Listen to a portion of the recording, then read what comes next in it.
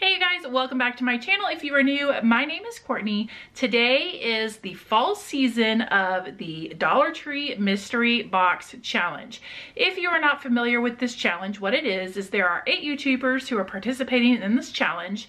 Each of us is given a name of one of the other YouTubers. We then go to Dollar Tree, we purchase a bunch of random supplies.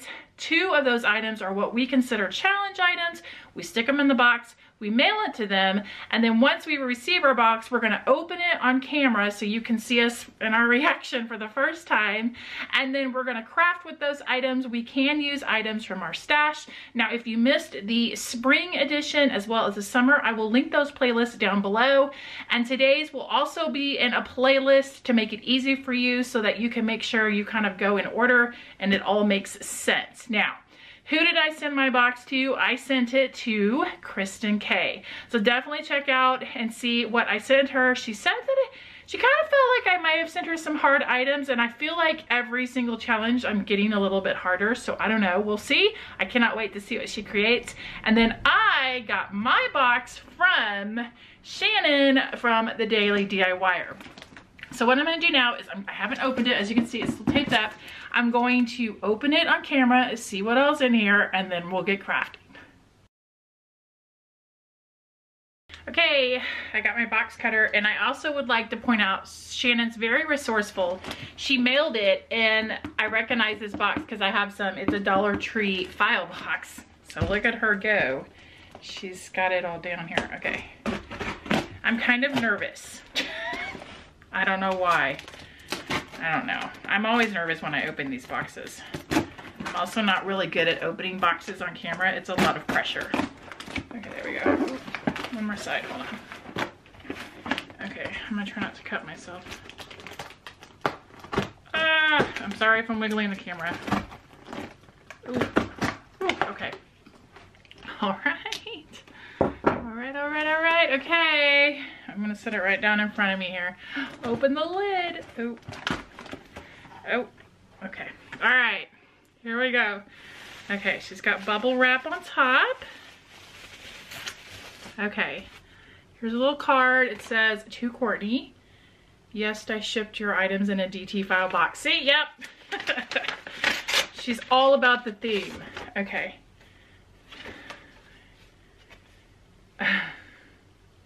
Okay, it says, um, hey Courtney, I already know you're going to rock this challenge. I can't wait to see what you come up with. Thanks for hosting this fun collab. Hugs and love, Shannon. How sweet. I love this. I save all these little cards. Have a whole collection going from other YouTubers. Okay, the first thing I see, pine cones, okay? My Dollar Tree has never had these, so I'm kind of excited about this. It's a just a bag of the mini pine cones. All right, I can do that. I can do that. I'm not scared. Okay. Let's see. I think these are the challenge items, so we'll save those till last. She has them all wrapped up. Okay. Next up. Oh dear. An activity tray. It's got compartments. Okay. All right. Hmm. Okay. My wheels are spinning. Okay. okay. Okay, all right. I say okay a lot. In case you haven't noticed on these things, it's my way of processing. So I apologize if you hear me say that eight, nine times. It's a framed thing with unicorns and it's got the clothespins and it's got glitter on it. That's a challenge in itself. All right. She's not messing around. Okay. Okay, very nice. A four pack of the little clothespins uh, with the chalkboards on them. So there we go. Do that. Okay. boom. Not too hard. All right. Ah. Book rings. okay. This is getting harder. And then there's, oh. All right. A home sign. Okay. And then there's something wrapped up and bubble wrap. Let's see. Ooh. I'm nervous about what the challenge are. Okay. Let's see. What? Oh, that's actually kind of cute. I've never seen this before. It's a little, um, it's a jewelry box, but it's got a, what is that, a bumblebee? A gold bumblebee. This will now be the Christmas season of bumblebees because I'm going to make it a thing. okay, well, it's wrapped up, so I'm not gonna open it. All right, jewelry box. Okay, we're down to the challenge items. Huh. I'm a little nervous. I'm actually a lot nervous. All right, challenge item number one.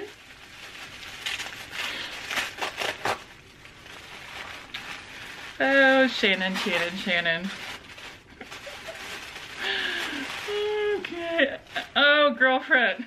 okay.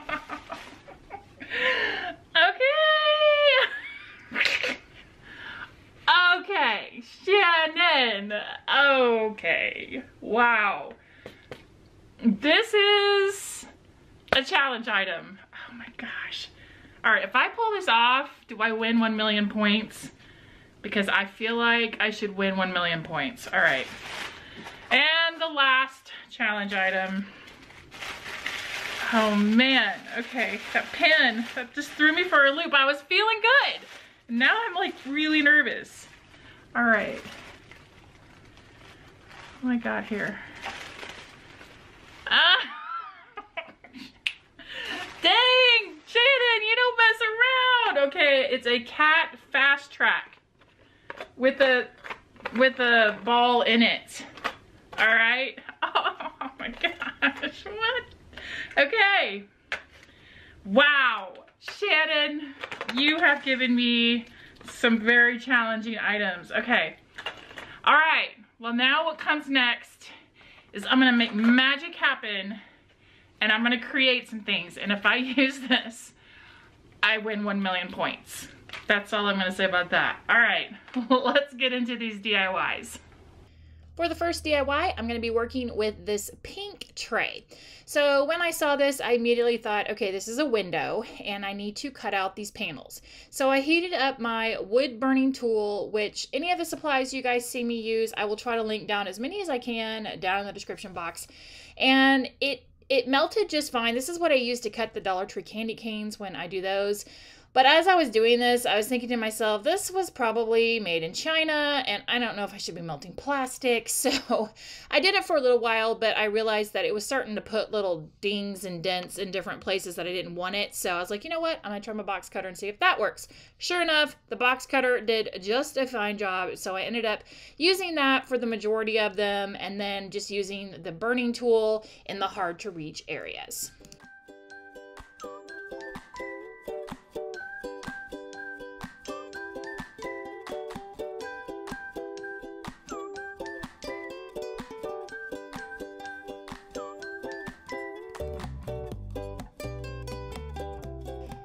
The panels were all cut out, I took some of the Waverly chalk paint in the color Truffle, and I'm gonna give this two good coats of paint, making sure to let it dry really, really good on the front. And I went ahead and painted the back as well.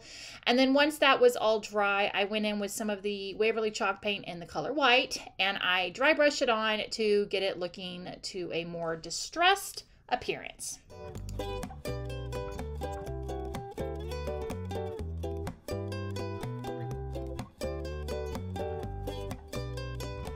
For the inside of the window, I wanted to use this scrapbook paper that I picked up from Hobby Lobby. So I'm just going to trace around the frame and then cut out this scrapbook paper.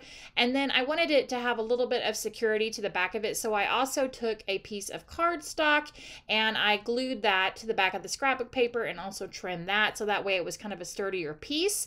And then to get this attached into the window, I took some Jenga blocks and I went ahead and used a total of eight of these uh, tower blocks and I glued them into the frame. And then that way, when I stick the back of the scrapbook paper on top of it, it has something to grab onto because otherwise, the surface area um, on the window if you were to try to glue this to exact directly to the window wasn't very much and glue was going to drip everywhere so that's how I decided to attach it.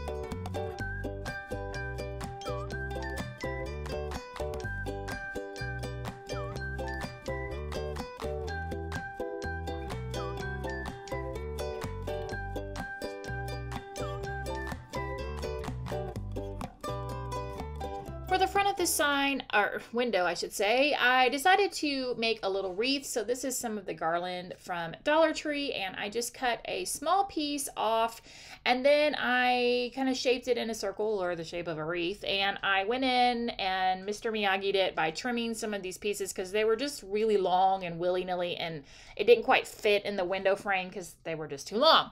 And then once that was done, I took some of the pine cones that Shannon sent me, and I just hot glued them them randomly around on top of the wreath. The wreath isn't secure at this point. I'm don't know why I'm doing on top of the window to be honest. Probably not the brightest idea, but you know, it is what it is.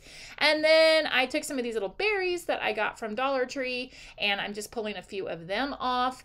And then once I get the berries on there, I had this little Mary sign that came in a pack from Dollar Tree, and I was going to put it on there natural, but then I realized, oh, it needs a little color. So I went ahead and just painted it with one coat of brown wax, and I had to remove some of the pine cones because they were in the way, and then I glued the Mary sign directly onto the wreath. And then once that was done, I just hot glued this whole thing onto the window. Now, you certainly could do some other things like work in little fairy lights if you wanted to, um, with the the window pane being um, just with paper on the back, you could attach the battery pack to the back of it and just kind of pull the lights up from the bottom and then wrap them around the wreath. That would be super cute if you wanted to do that. But there you go, a cute little window Christmas theme sign.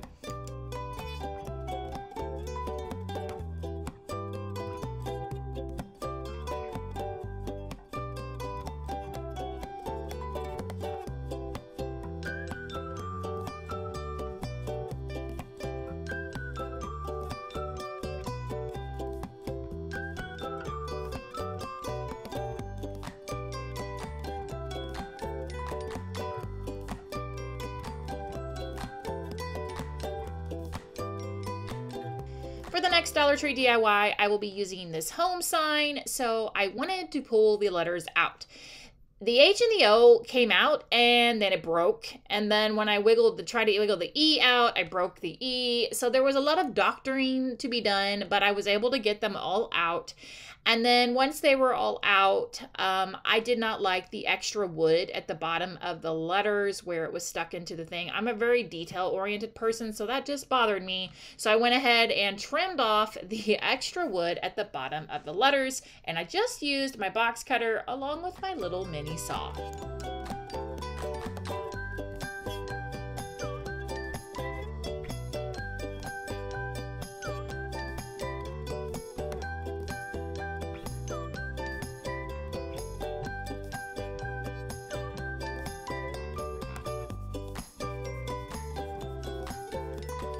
Letters are all cut apart, as you can see there on the top of the screen, I'm going to get my truck ready. So this was a sign from Dollar Tree last year.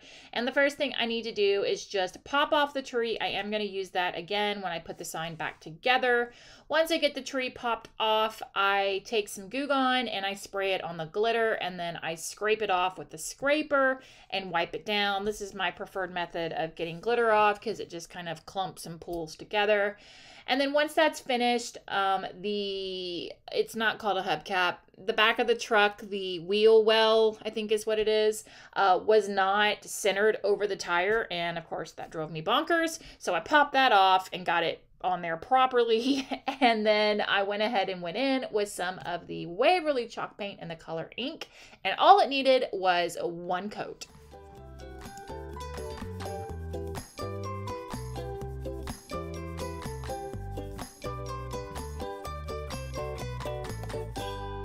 While the truck was drying, I took my home letters and painted them with one coat of Waverly chalk paint in the color Crimson.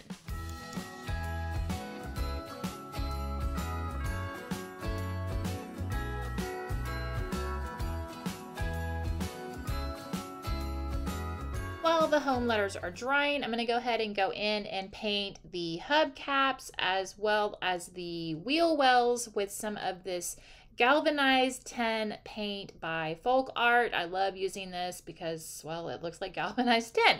And so I'm going to go ahead and just put one coat on the um, wheel wells and then it took a couple coats for the hubcaps to cover in all the way. Now I need to get the back ready. I wanted to put a suitcase in the back and I also will be using the tree again. So I kind of took this uh, wood plank from Dollar Tree and just wanted to position to kind of see where I needed to cut it. So what I ended up doing was just marking um, it where I where it was going to stick out of the truck and then I knew that I needed to cut a little bit below that so that I could secure it to the truck. Now to trim up this wood plank, um, I go down about an inch from where I had marked it. I'm just going to score it with my box cutter and then all I have to do is just use my miter shears and it cuts perfectly. Oh snowman is all around town. Watch out for reindeers are falling down. We stay up waiting for Santa tonight. Now I need to get my suitcase covered, so I'm using some red and black buffalo check scrapbook paper that I got from Hobby Lobby, and I'm just cutting a piece to make sure that I can wrap it so that the front the top and the sides of the suitcase are covered all the way because that's what will be visible. And I'm just going to use a combination of a glue stick and some hot glue to get this scrapbook paper attached to this piece of wood. And then once that was on there, I knew I needed a little luggage handle. So I had this brown suede rope stuff. I really don't even know where it came from. It was just in my stash, but I thought it would make a great little faux leather handle. So I went ahead and cut a small piece of that and hot glued that to the top. And then I was ready to go ahead and assemble the back of the truck.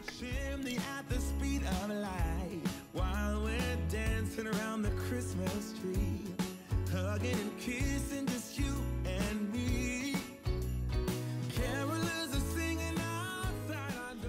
ready to go ahead and start attaching these. So the first thing I'm going to do is hot glue my suitcase to the truck. Then I'm going to go ahead and hot glue the tree in and I will flip it over and kind of secure it a little bit more with some more hot glue. And then once both of those are done, I wanted to make a small luggage tag for my suitcase. So I took one of these white tags from Dollar Tree and um, I did my best to draw an airplane and then I put HOU because I am in Houston and that's the abbreviation for the one of the airports here in Houston and I tied that to the suitcase. Once that was all finished, I was ready to go ahead and get my wording onto the truck.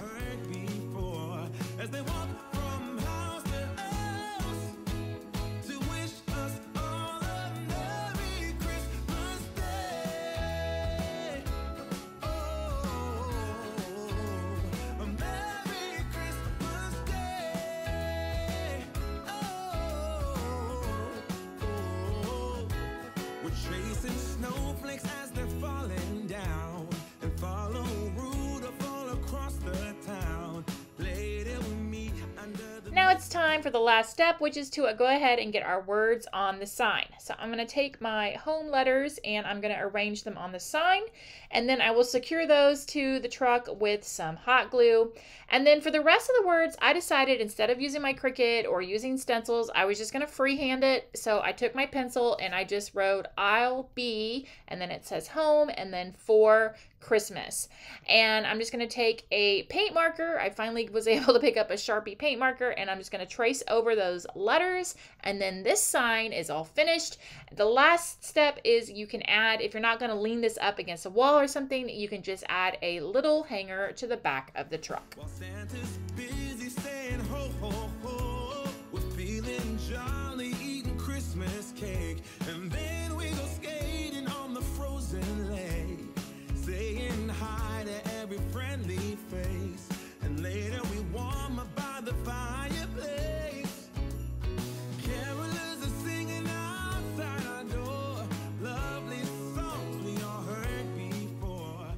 I'm going to be using the foam blocks for this next DIY. Actually, I was going to use all four blocks, but then I changed it to one. So this is another one of those. If you do this idea, please shout me out at Creative on the Cheap on Instagram because someone did the skeleton idea I suggested with the YMCA. So, what I originally was going to do was wrap all four of these blocks and use them kind of like faux wood blocks where you could do words on them and put letters like ho, ho, ho, or you could do Christmas trees, or, you know, just make them look like faux wood blocks then I nixed that idea and I decided I wanted to make a tray filler, something that I could use because I always seem to have like one or two little spots where I need a little something and I thought this would be a good idea. So I decided to turn it into a little present. However, at this point, I really still didn't quite know what I was doing, so I'm making this harder than what it needs to be. But what you want to do is you want to get it wrapped up. You could wrap it like a present if you want to from the get go, which would be your easiest option, or you could piece it together. So I would recommend maybe taking a piece that would go all the way around the skinnier side of the block instead of what I'm doing right here. And then go ahead and do the wider sides all the way around up to you how you want to wrap it but in the beginning i wasn't going to put a piece on the bottom. Like i said i really had no idea what i was doing at this point. I was just kind of like oh let's see what happens. And anyway by the time i finally got it wrapped then i was ready to take one of the little chalkboards and i wanted i knew i was going to want to attach a chalkboard to it so I needed to get the clothespin off, and so I thought I could just be Superwoman and just rip it off, but that didn't work. So I took my heat gun and my metal scraper, and I thought, okay, I'm just gonna heat up my heat uh, my scraper, and I'll just slide it through on the glue. Yeah, that didn't work so well either. In my head, it went really well, but in reality, it just didn't work. And so I decided, you know what, this is going to be 3D and it's going to stick off this present. So I'm just going to leave that little piece of clothespin on there. And that's exactly what I did. So once that was decided, um, I went ahead and pulled out these little wood figures that I got in a pack from Hobby Lobby last year. I never used any of them and um well, you know, it I decided I probably need to use some. So I kind of just went through and picked out which ones I thought would look good. Ultimately, I decided on Santa because number one, Santa was on the paper, and number two, it fit the best on the chalkboard. Then, after I fidgeted with it for a little bit, um, before I attached the chalkboard, I wanted to go ahead and tie a piece of twine to it um, to make it, again, kind of look like a present. I wasn't quite sure how I was going to do it, but I just ended up doing one piece and tying a bow. And then from there, I was ready to go ahead and hot glue my chalkboard to the front of it.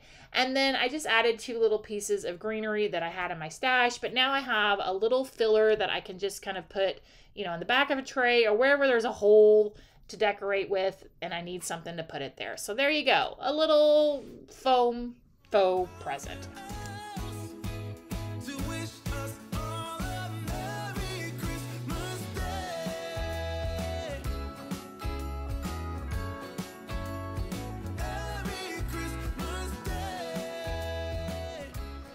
This next DIY is one of those, do you really even call it a DIY? But I was really determined to use everything that Shannon sent me. So I'm going to be using one of the binder clips and I'm going to take some of this rope that I bought on Amazon. It is thicker than just regular twine, but not quite as thick as the Dollar Tree nautical rope.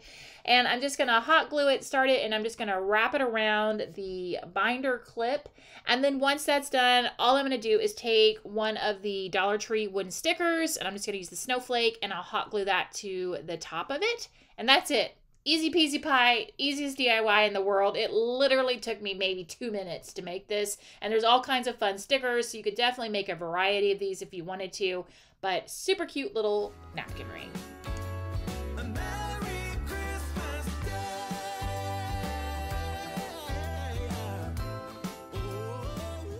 This DIY, I'm going to be working with the little uh, trinket box that she gave me that had the bumblebee on the lid. I'm just using the bottom part of it and I cut out this little uh, design on Cricut Design Space. It was in there um, preloaded design images and it just says elf cam and has a little camera lens and I'm just going to apply this to the front of it. And then once the decal is on there, I've got these elf feet from one of the elf signs that they have this year. And I'm simply going to take the uh, stand that the home letters were in, and I'm going to get these elf feet secured into the home stand.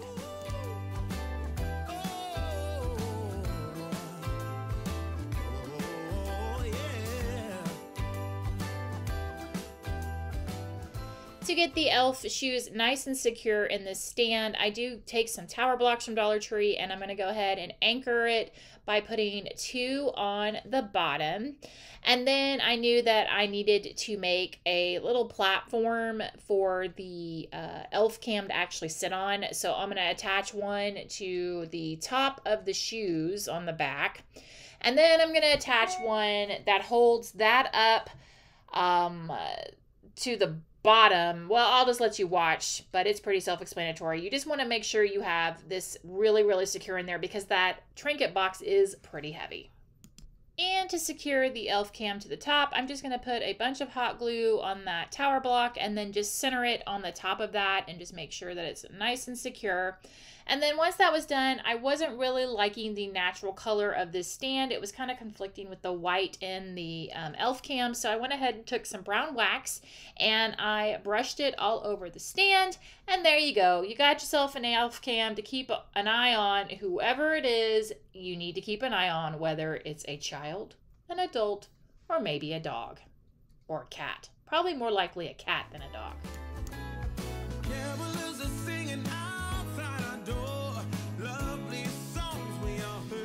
unicorns and glitter are what is on this sign. So the first thing I needed to do was take off the twine and the clothespins and put those aside. And then I needed to get the glitter off, and my first thought was, oh, I'll just rip the paper off because it looks like it'll just come off.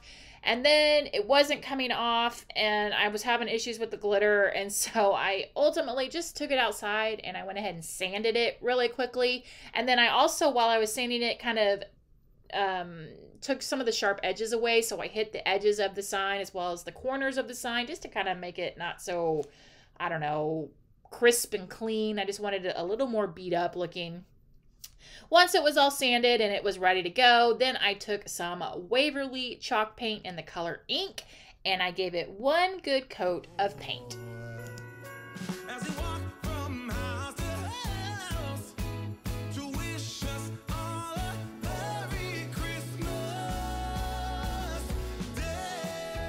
Grabbed the cat toy. Now, for the life of me, I couldn't figure out something to do with the green or blue part, but I knew what I wanted to do with the ball that was in this cat toy. So I'm going to turn this into a bell. So the first thing I needed to do was break it open and because the inside is blue as well. And I'm going to paint this whole thing with, with some Waverly Silver Lining chalk paint just to kind of act as a primer. Once that's on there and it's dry, I'm going to go back in with that galvanized tin paint from Folk Art and give it a good coat of paint. While the bell is drying, I made this decal um, on my Cricut and I'm going to position this, but I kind of needed to see where the bell was going to hang down. So that's why I'm holding that. And my um, words are kind of off center. They're not right in the middle of my sign. I'm going to go ahead and apply the decal. And then with the bell, I needed to make sure that it was hanging. So I just took a piece of twine. There was a hole at the top of it and I stuck it through, tied a knot, secured it in with some hot glue. And then that gave me the little string that I needed to hang the bell.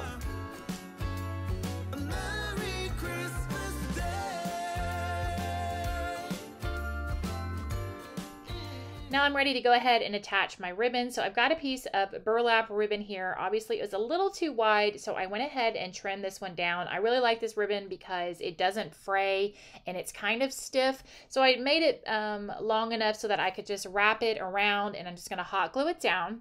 Once that one's down, I'm gonna take a piece of this buffalo check, check ribbon. This came from Dollar Tree and again, I'm just gonna hot glue that down. And then the twine that's attached to the bell was long, so I'm just gonna wrap that around tie a bow, trim off the tail, and then this sign is finished.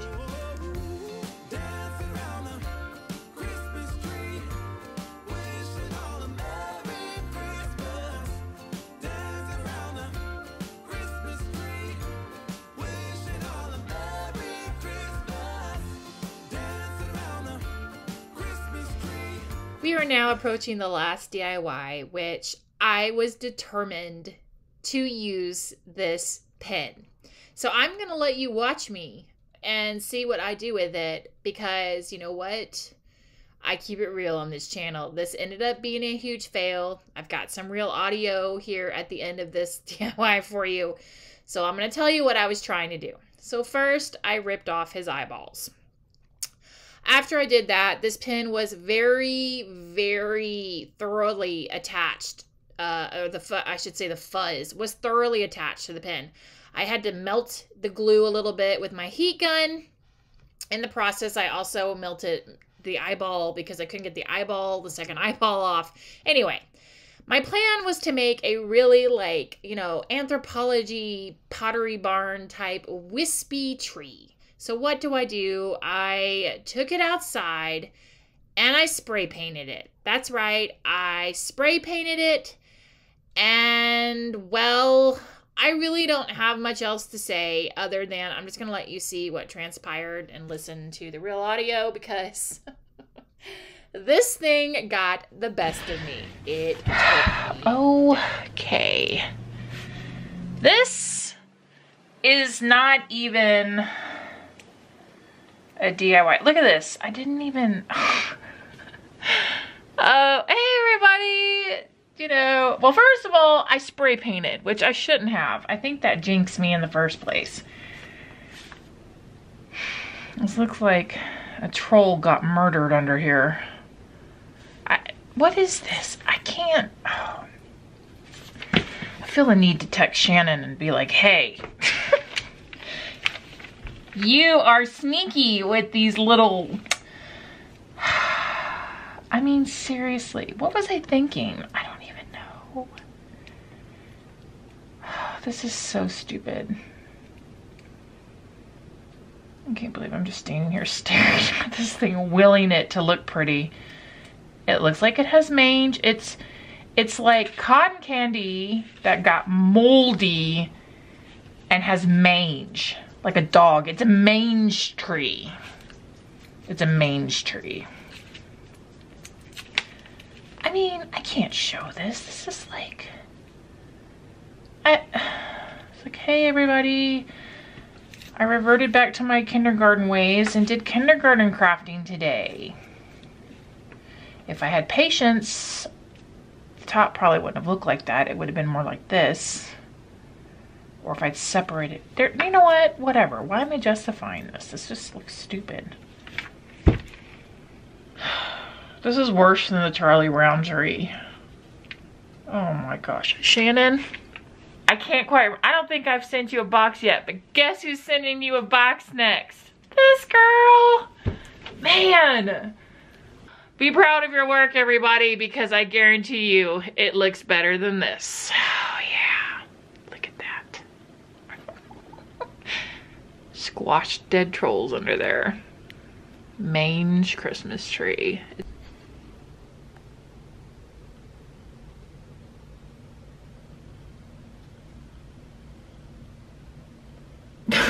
I can't. I can't. That tree looks so dumb. Ugh. Thanks, guys, for watching. I really, really appreciate it. Thanks again to all my buddies for participating in another round of the Dollar Tree Mystery Box Challenge. Make sure you click that link down below and go check out everybody else. Let me know which one of these DIYs was your favorite. I will see you guys in the next video. Bye!